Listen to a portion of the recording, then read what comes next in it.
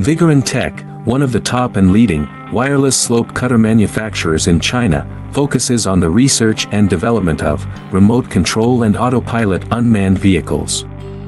Remote control lawn mower is our current main product, widely used in lawn mowing and weed cutting, suitable for orchard, steep incline, front yard, wasteland, wildfire prevention, highway plant slope protection and so on.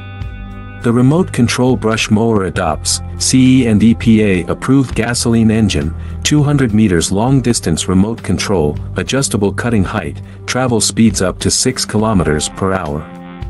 Based on the in-depth understanding of our own products, we can provide the best after-sales service.